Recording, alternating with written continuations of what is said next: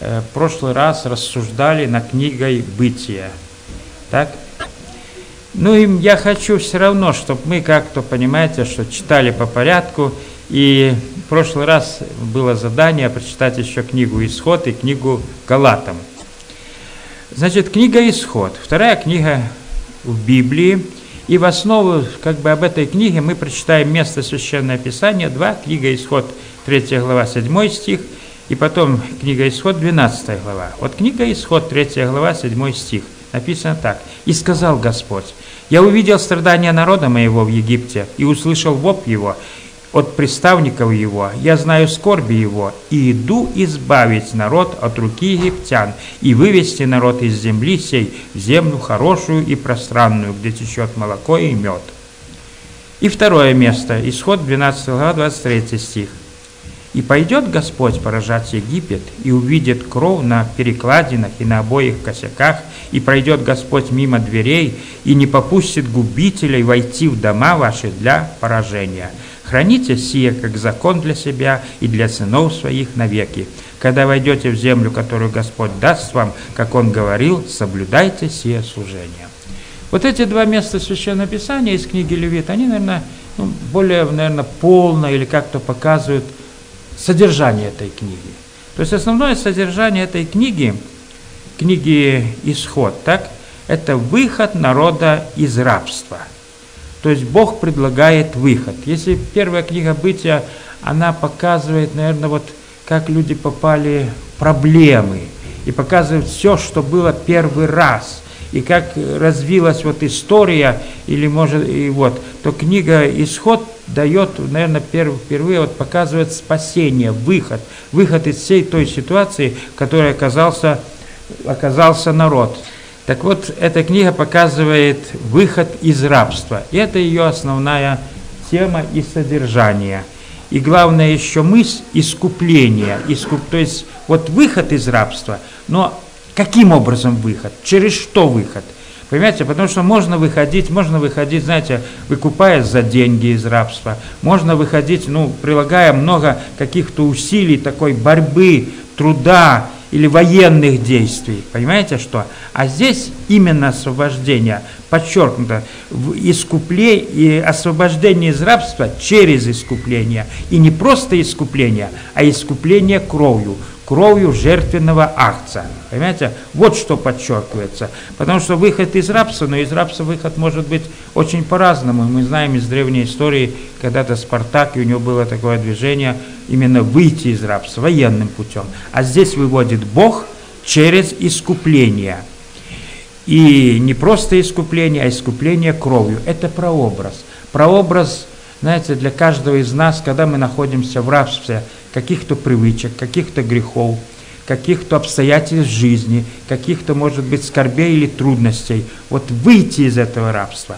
Выйти из этого рабства – Божий путь, совершенный путь, прямой путь, так я хочу сказать, самый быстрый путь – это искупление кровью Господа Иисуса Христа – вот от всех своих то ли грехов, то ли проблем, то ли переживаний, то ли собственно какого-то я, и когда мы находимся в рабстве, вот, значит, эта книга показывает через искупление кровью Господа Иисуса Христа.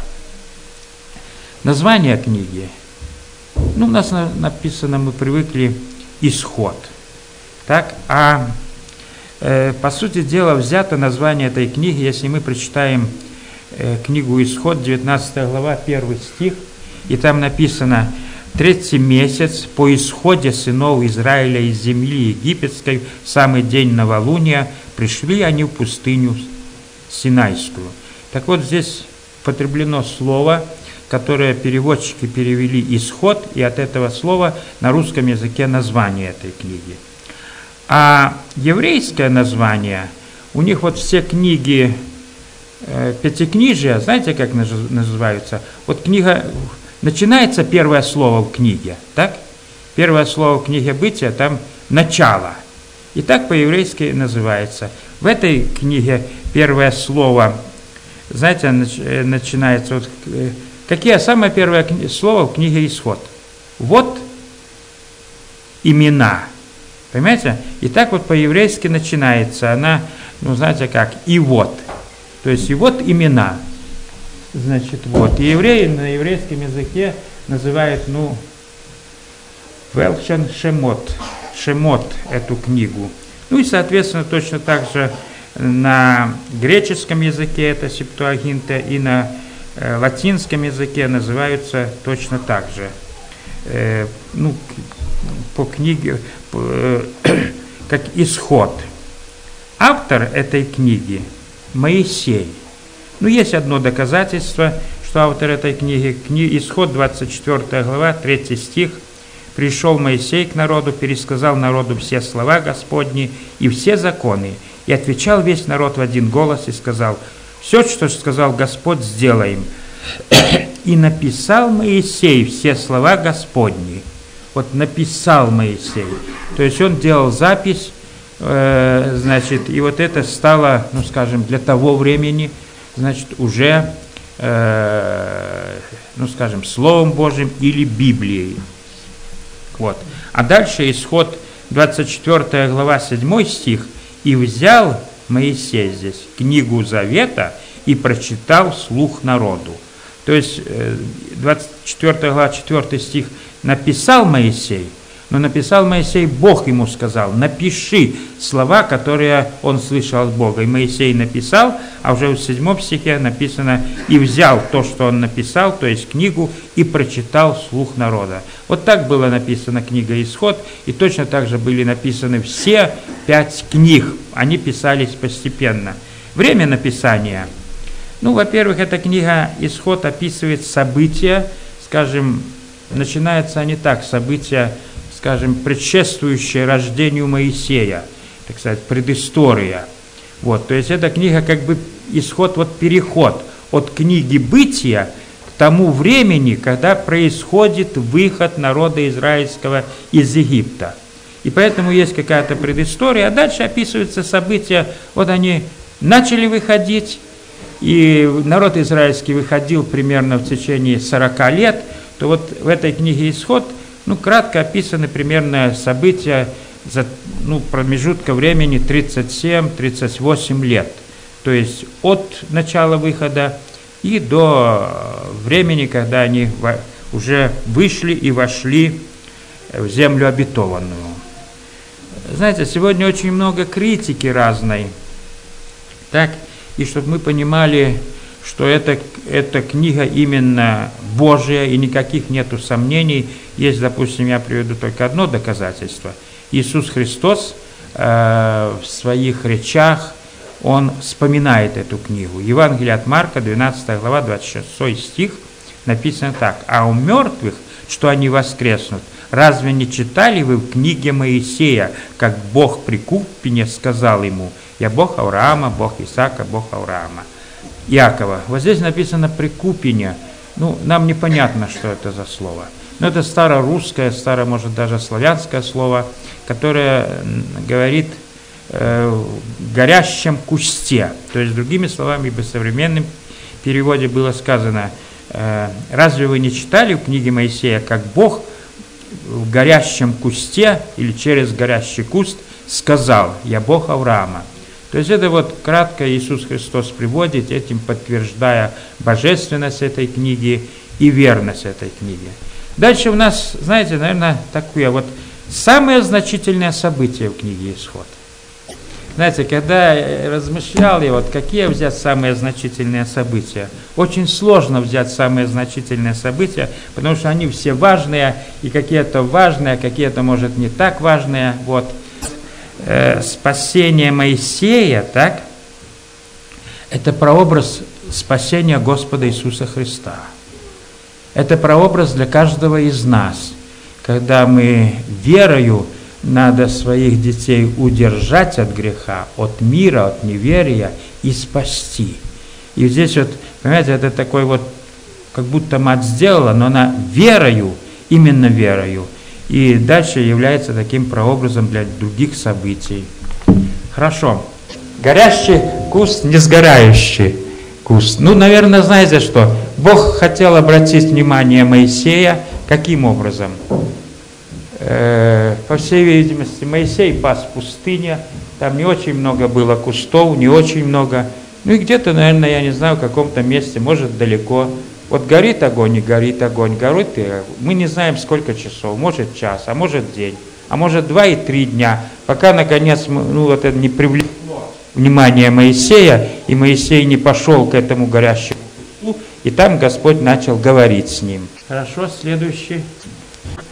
Моисей и народ перешли на другую сторону, и конница Египта погналась, и вот Моисей простирает жезл, и море э, сходится, и египетская армия оказывается под водами э, моря. Хорошо, следующий. Вот смотрите, у Моисея какое было богослужение? Библию, которую он начал, написал, надо читать, изучать и проверять свою жизнь, и думать над этим, и запоминать, и проверять свою жизнь. Если мы дальше видим у Ездры, у Ездры, допустим, собирался народ, и они одну третью часть дня читали закон, одну третью часть дня исповедовались, и одну третью часть дня молились, и взрослые и дети. Радостно это труд или трудно это? Это, это, это работа. Это работа, понимаете, это работа, потому что надо думать и проверять. А тут они сделали такое служение. Танцуй, пляши, пой, веселись. Ну и обычно по книгам даже пишут, что там доходило до таких вот развратных оргий, так сказать, религиозных. И, и, и знаете, никакой работы над самими собою. Вот поэтому они сделали. Ну и скажем, что после этого было? Это Моисей пришел с горы, то есть каменный лист бумаги. И вот Моисей пришел с этим письмом от Бога, и когда увидел, они танцуют, разгневался и разбил эти скрижали. Правильно это было или нет? Грех был, грех. Но Моисей тоже был человек. Тоже был человек, и знаете же, мы понимали, вот 40 дней Моисей там в посте, там перед Богом, а тут за его спиной в течение 40 дней вот они полностью вернулись к египетским грехам, к образу жизни Египта. И все, смотрите, чудеса, чудеса, которые видели, и забыли, и оставили, и ничего не осталось. Хорошо, дальше посмотрим. И не было воды. И начал э, народ роптать, роптать, роптать. Моисей вопиять к Богу, и Бог ему сказал, простри жезл, э, коснись горы, и будет вода. И знаете, как дальше? Нам трудно представить, но вот эта вот гора вот двигалась следом за народом. Вот они в течение, ну так, грубо говоря, 40 лет ходили по пустыне, и гора шла с ними или за ними, и они имели воду постоянно огонь и столб шел, и знаете, их сопровождало еще два чуда. Манна падала ежедневно, и вода со скалы была ежедневно. Хорошо? Так вот эта скала, которую прострел, э, то есть Моисей коснулся, ну и значит он коснулся, наверное, надо было ему как-то прикоснуться так, в благоговении. Он в гневе это сделал, в возмущении сделал, стукнул по скале – с таким гневом, вот сколько вам еще надо, э, так сказать, злости на народ, и за это имел потом наказание. Хорошо. Ну, мы просмотрели содержание. Содержание, хотя мы оставили в стороне еще скиния, потому что часть, э, э, большой объем книги это делали скинию и так далее. И в книге «Исход», знаете, очень много прообразов Иисуса Христа. Вот первый такой прообраз Иисуса Христа – это избиение младенцев из израильского народа. Это же самое мы видим повторяется при рождении Христа. И как тогда, во время исхода, Моисей был спасен э, чудеснейшим вера, образом, повиновением родителей, послушанием родителей, познанием воли Божией и верою их – Точно так же и Христос был спасен через э, Иосифа и Марию, Иосифа, которые познали волю Божию и ушли в Египте. Дальше мы видим еще в этой книге Исход прообраз, э, прообраз значит, Иисуса Христа. Моисей получил 10 заповедей и учения. Это точно так же Господь Иисус Христос приносит новое учение, учение о спасении. В-третьих, Моисей, прообраз Иисуса Христа, Моисей вступает в завет э, с Богом. И точно так же Иисус Христос является родоначальником Нового Завета в оставление греха. В-четвертых, Моисей, прообраз Господа Иисуса Христа, Моисей вывел народ из рабства. И точно так же Господь Иисус Христос освобождает от рабства греха, от рабства смерти, от рабства мира и от всякого другого рабства, рабства страха. Э, Моисей был в течение 40 дней в посте, значит, один. Понимаете, и один раз, и другой раз, когда получал скрижали зап, десяти заповедей Божьих. Точно так же Господь Иисус Христос был в течение 40 дней в посте и имел искушение, э, значит, от сатаны. Ну и, наверное, самое главное, через Моисея было много-много чудес, разных чудес. Точно так же через Христа были чудеса, и Моисей дал, ну, дал такое чудо, вот они ели ежедневно манну в течение 40 дней, и поэтому, знаете, что э, народ уже во время Нового Завета ожидал, что если придет Мессия, то он должен вот точно так же, как Моисей накормил, точно так же давать пищу земную – и в полном изобилии, или даже еще лучше, чем во время Моисея. Вот все это прообразы Господа Иисуса Христа. Ну еще я хочу остановиться, знаете, остановиться, вот в книге «Исход» много чудес или нет? Очень много чудес. Или можно сказать, книга «Исход» особенно вот одни чудеса. То есть с чего начинается? Знаете, чудесное спасение Моисея вот э, корзинке, дальше – горящий куст. Дальше Бог дает Моисею э, возможность творить чудеса как знамение, как доказательство, что он от, от Бога, превратить воду в кровь, э, показать болезнь проказы на своей руке, исцеление. Все это было как доказательство от Бога. А дальше 10 казней, а дальше, ну как вам сказать, получение закона. И на любые проблемы, понимаете что? Моисей отвечал такой Божьей помощью, или Бог отвечал помощью через чудеса. Мяса нету, они начали роптать, раз перепила. Но я хочу спросить, а вот во всей книге «Исход» чудеса, или было время, когда они прекратились? И что лучше было, когда были чудеса или не было чудес? Чудеса не во всей книге чудеса в книге Моисея примерно вот до 17-19 главы, а дальше прекращаются. Приходит Иофор, тесть Моисея, и чудеса прекращаются. Вот примерно это 17, ну скажем, даже 19 глава, и чудеса прекращаются. И вот что лучше, когда были чудеса или когда не было чудес? Как понять это? Вот книга Бытия, там есть чудеса или нету? Подсказывает тут чуть-чуть. Конечно, очень по-разному можно оценивать. Но знаете, может быть, тут десятка, два, три чудес, которые в книге «Исход» в первых главах, да?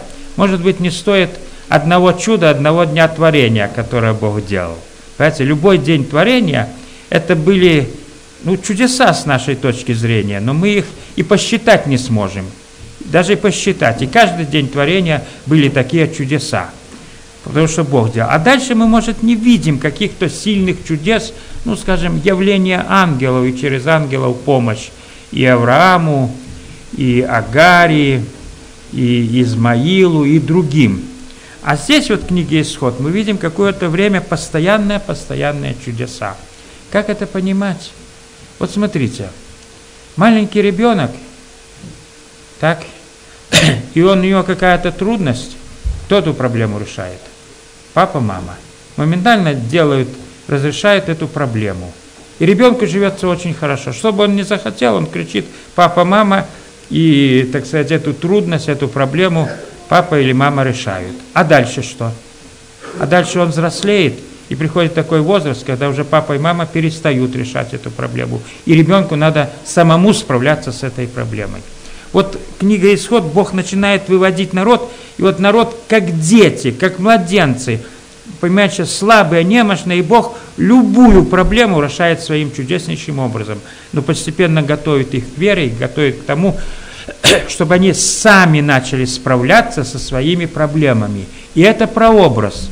Знаете, каждого человека, который начинает вот только идти за Богом в вере, с самого начала, Бог очень близко и отвечает чуть ли не чудесами.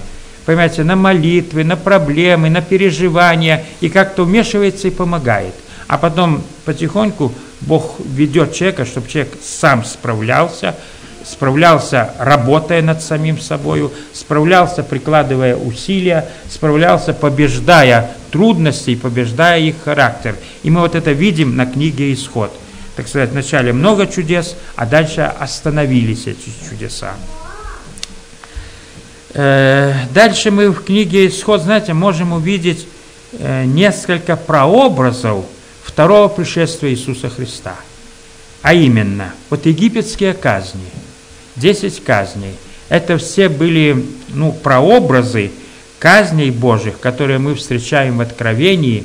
И это были казни, э, знаете, над Египтом, который не внимал призыву Божию и не хотел повиниться, подчиниться призыву Божию отпустить народ. Точно так же будут казни над людьми в последнее время. И вот как это было, по сути дела, разрушение там вот всей египетской империи, всей силы, славы и мощи Египта. И Египет потерял, знаете, вся экономика разрушена, армия, и вся жизнь была разрушена. Вот точно такие же будут казни Божьи, мы читаем в над всем человечеством и над всей земной цивилизацией. Дальше мы можем видеть, ну, конкретно такие, скажем, в Египте была вода превращена в кровь, мы это точно читаем в Откровении. В Египте было одно из казней саранча, четвертая, кажется, казнь, и э, это же будет в книге Откровения одна из казней – вот. Ну и, знаете, мне хочется, знаете, сейчас еще поразмышлять, вот что мы увидели, ну как бы вам сказать, основные по содержанию, больше всего ярко. Вот что в этих книгах, в этой книге увидели? Не знаете, что вот показан? Показан Бог. С какой стороны? Показана Божья сила и слава. Вот Божья сила и слава. То есть Бог все время спасает, помогает, выручает, и показан Бог сильный. Ты перейди к следующему слайду. Показан Бог сильный, могущественный и являет Божью силу. И Божья сила является в чудесах, знамениях, присутствии Божьем, является Божья, э, Божья сила в такой спасающей э, помощи, то есть казни, разделения воды в море, манна – огонь. Это с одной стороны. С другой стороны, Бог показана Божья слава. Именно Божья слава, знаете, в какой? Э, вот, э, ну, здесь мы не касались. Была скиния, и сделана, и над скинией потом явилась эта Божья слава. В еврейском языке есть специальный такой народ, термин, слово «шехина», которым ну, обозначали это слава. Слава это являлась вот чем – ночью огненный столб стоял постоянно, а днем, ну, облачный столб стоял. Понимаете? И это, ну вот, э, яркое солнце, понимаете, что и постоянно, то ли огненный, то ли облачный столб. Это была слава Божия, так сказать, чтобы показ... Э, через которую ну, народ должен был видеть, осознавать, понимать, Бог присутствует, Бог здесь находится – это с одной стороны. Вот показан Бог, сила Его и слава Его. А с другой стороны, вот если кто прочитал, вот какой народ весь? Какая основные характеристики народа? Черты характера? Или как, что, с какой стороны показан народ? Грех. Вот постоянный ропот на Бога. Чуть мяса нету, начали роптать. Роптали на Моисея. Моисей виноват. Чуть, значит, это самое, воды нету, опять начали роптать. трудность какая-то роптать. То есть, понимаете, роптать, и роптали, по сути дела, на Моисея, и как говорили, зачем ты нас вывел? Лучше бы нам остаться. Понимаете, что? И говорили, что лучше мы вернем, лучше умрем. То есть это я к чему хочу сказать? Вот понимаете что? Есть Божья сила, Божья слава, Бог спасает. А народ, чуть какая трудность, и начинают роптать и обвинять Бога. Мы такие или нет?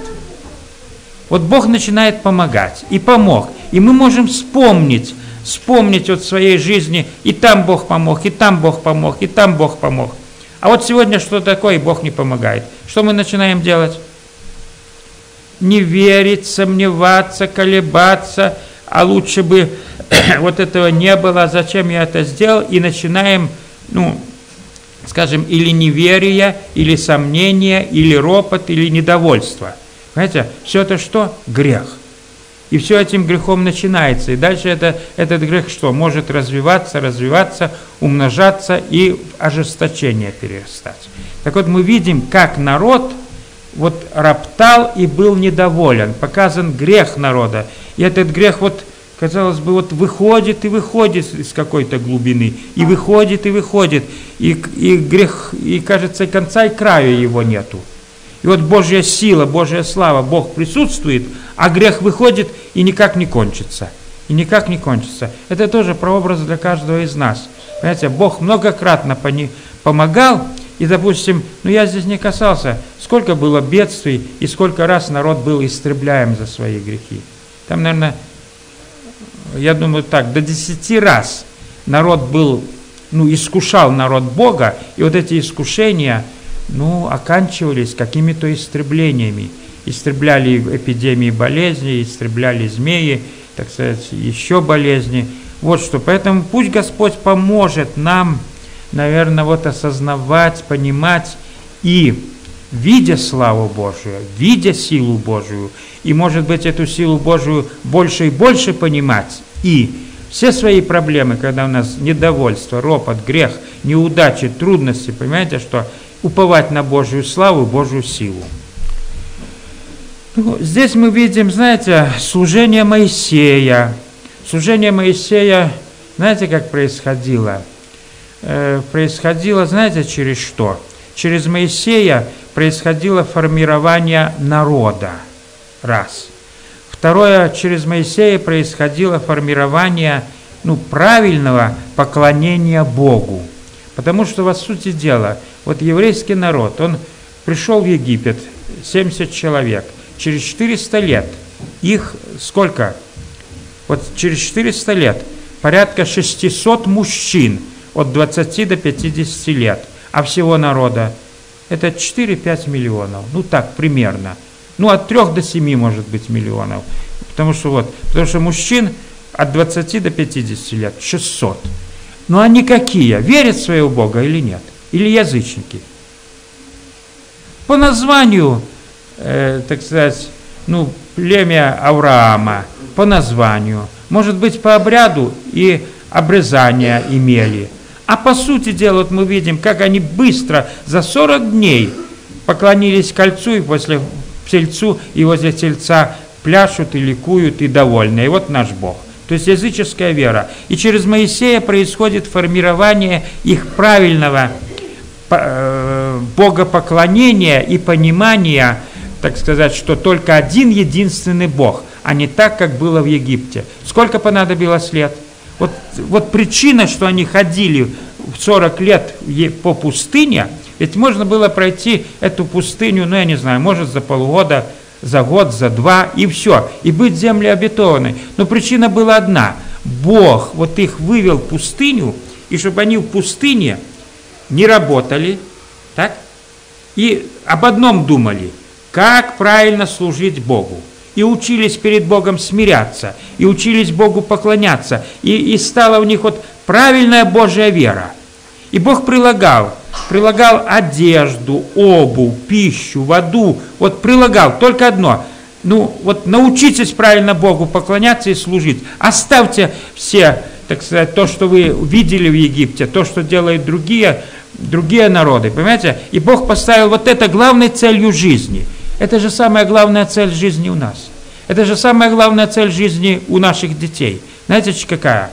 Бога понять, Богу правильно поклоняться, за Богом идти и жить. И понимаете, вот они 40 лет, пища не надо, одежда не надо, обувь не надо, вода не надо, все прикладывается.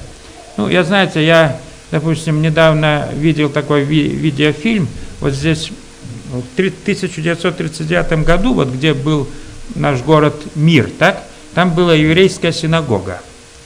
Ну и уже подписан был договор между Молотовым и Риббентропом, и они понимали, что это, это ну, мир, этот город, отойдет под Германию.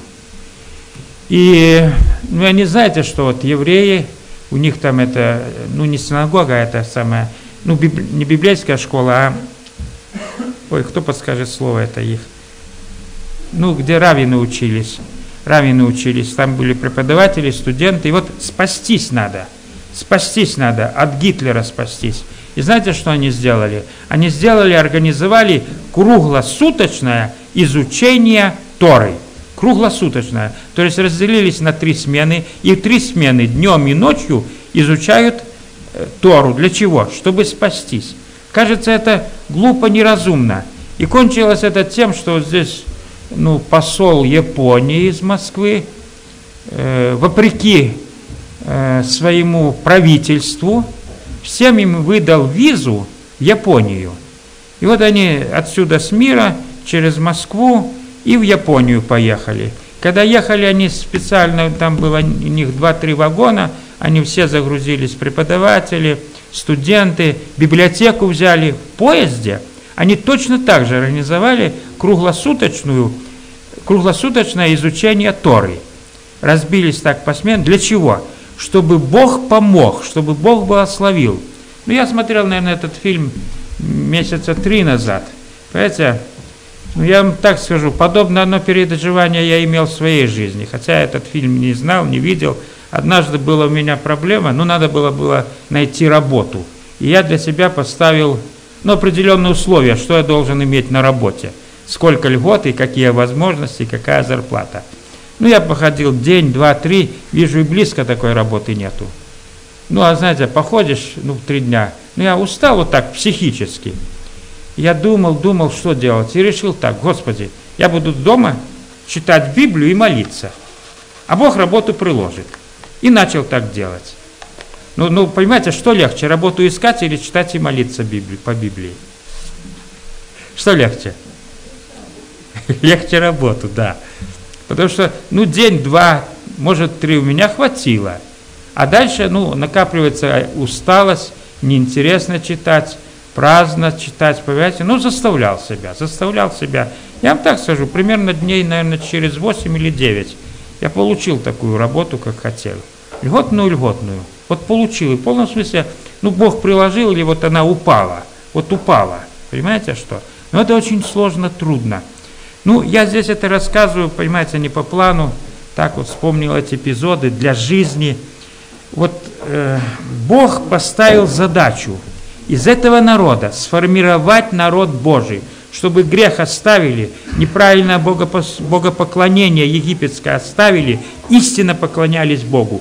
Это задача у нас, для нас взрослых и для наших детей – и пусть Господь поможет. Если мы будем ну, соответствовать вот этому Божьему призыву, все Бог будет прикладывать. Ну, прикладывать все необходимое для жизни, понимаете? А мы всегда, вот как этот народ, ну, понимаете, пускаемся в какие-то помыслы. Надо деньги, надо образование, надо то, надо третье, понимаете, что? И от Божьих благословений, ну, отказываемся, теряем, забываем, так сказать, теряются они. Пусть Господь поможет нам, вот понимаете, видеть, как вот у них жизнь проходила. И знаете, ведь они могли, э, как бы вам сказать, вот я говорил, что они могли через год, через два выйти из этой пустыни. Для чего надо было? Познать Бога, понять Бога, поверить Бога, полюбить, смириться, где-то полюбить, где-то смириться, вот принять этот закон и пытаться жить перед Ним – по этому закону, и открывается свободный вход в землю обетованную. И вот точно так же мы можем в какой-то проблеме находиться, находиться, находиться, и никак она не решается. Решение одно. Или покаяться перед Богом, или хотя бы смириться перед Богом. Конечно, лучше правильно, и раньше я всегда говорил, что покаяться, но иногда сегодня мы такие черствые, что не хотим каяться, но хотя бы смириться, и Бог будет выводить на какой-то простор жизни. Ну, по времени мне надо подходить к окончанию. У меня еще есть здесь графа «Уроки для назидания». Из этих всех уроков для назидания я возьму только один на сегодняшний день. Книга «Исход», 17 глава, там показан отрывок. И там был слайд, должен был быть такой. А, в конце. Покажи слайд. Сколько Моисею лет? 80 ну, э, ну, примерно 80, может немножко больше, меньше. Понимаете что? И вот они идут в землю обетованную, на пути их встречает Эмалик. Они вначале попросились Амалика, это потомок Исава, разреши пройти нам, и мы тебе заплатим, и за дорогу заплатим, и за воду заплатим. А он, нет, не пущу. Нет, не пущу, и начал встречать их армией. И вот пришел, вы, вы, вы, хотя Бог сказал Моисею, чтобы не воевали с Амаликом, ни с кем не воевали, только попросите разрешения пройти. Но Амалик вот с таким, я не знаю, ожесточением, так сказать, ну, наверное, тот гнев, который был когда-то у Исава, вот он передался через 400 лет и умножился, и Амалик встречает армией, и, и хочет, не хочет, но народу еврейскому надо воевать. И вот как они воюют. Иисус Новин и все мужчины от 20 до 50 лет идут на сражение. А Моисей молится. Где, как вам сказать, вот передовая сражение. Какое, какое из, этих, из этих вот Моисей или вся армия? Кто имеет первостепенное значение? Кто важнее? Ну, армия, я не знаю, ну, я готов сказать, ну, 600 тысяч мужчин. Ну, так примерно. Ну, может, 500 тысяч мужчин. Понимаете? И один Моисей. И вот Моисей стоял на горе и молился. И молился он когда? Побеждал Иисус Новин. А потом уставал. Ну как уставал? Ну час. Молитва тогда была вот как. Руки вот так держали. Вот сколько так руки можно продержать? Сколько? 10 минут. Ну вот подсказывают 10 минут. Ну, Моисей больше держал. Может, час держал, может, еще э, два держал. Понимаете, ну опускал, устал. Понимаете, а потом смотрит, что он с горы видел, что Амалик побеждает Израиля, Израиль отступает. Он опять поднимал руки. Ну тогда такая была молитва, обязательно поднимать руки. Понимаете, что? И вот мы видим, что молитва имела большее значение, чем 600 тысяч вооруженных мужчин. 600 тысяч вооруженных мужчин, их молитва Моисея вдохновляла – исполняла силою Божией. И наоборот, когда Моисей переставал молиться, они, я не знаю, ну не было силы побеждать. Вот не было силы побеждать. Я всегда нашим, вот мы проводим молитвенное общение, пусть этот вот пример послужит. У каждого из нас есть проблемы, решения. Все, как мы должны решать эти проблемы, так и надо делать. Но к этим проблемам надо молитва. И молитва впереди. И молитва, наверное, я не могу сказать, сколько времени, но молитва пока не скажет Господь, я услышал твою молитву. Ну, во-вторых, наверное, еще молитва правильная, потому что часто у нас молитвы бывают, вы знаете, что наши дети просят у нас? Правильно они просят или нет? Чаще всего. Чаще всего неправильно. Чаще всего неправильно, и их просьбу нам надо от, а, отредактировать Понимаете, пересмотреть, научить. Точно так же могут быть и в нас молитвы. Может быть очень молитв много неправильных по содержанию, не по воле Божией. Молитв от нашей, знаете, користи, от нашего эгоизма, от нашего «я». Понимаете что? И мы можем и молиться, а все равно результатов нету. Хотя результат будет. Какой будет? Э, будет Бог начинать открывать, познание наше открывать. Но это для нас вот пример, что молитва Моисея – и потом начали его поддерживать Ор и Арон, поддерживать его руки. Это, наверное, самая первая молитвенная группа. И вот сила этой молитвенной группы, она была важнее, чем, скажем, 600 тысяч вооруженных мужчин. Поэтому во всяком деле, дай Бог нам, знаете, кому-то участвовать, и как Иисус Новин, и эти мужчины воевать и делать какое-то дело. Э, кому-то, может быть, по каким-то причинам мы там не можем участвовать, но молиться. Но даже так я хочу сказать, и этим вот Э, и тем, кто участвует в каком деле, уже в Новом Завете, апостол Павел пишет, итак, прежде всего прошу совершать молитвы, то есть прежде всего, прежде начала какого-то дела, начала какого-то переживания, начала, я не знаю, вот здесь кто родители, на каждый новый шаг развития детей делайте специальную молитву. То есть вот Пойдет ребенок первый раз в детский сад, пойдет ребенок первый раз в школу, пойдет ребенок куда-то еще, в какой-то кружок, какой-то ступень развития возраста ребенка. Специально делайте молитвы по благословению, по освящению, по уразумлению, по защите, по охране Божией. Это я говорю из личного опыта и так далее. Или потом в какой-то проблеме ребенок находится, понимаете, тоже специально молитву, чтобы шла впереди, и Бог был впереди. Ну и мы, знаете, как вам сказать, ну сегодня мы от молитвы уклоняемся, ленимся, убегаем, так сказать. И может быть одна из причин многих трудностей или то, что наша жизнь стоит на месте. Хорошо, мы будем заканчивать сейчас наше рассуждение. Я хочу призвать нас всех, кто не прочитал, прочитайте книгу «Исход». Записывайте вопросы обязательно. А на следующее воскресенье следующую книгу – из, эм, ну, из пятикнижия. Я понимаю, что когда приходится рассказывать, там касаешься и много что пропускаешь, пропускаешь, невозможно все, никогда невозможно. А сейчас молитва. Молитва может наше покаяние, веры, исправление, вразумление. И последнее наседание, чтобы мы молились и учились молиться у Моисея и учились молиться у Ора и Аарона, которые поддерживали. По возможности мы преклоним колени и будем молиться.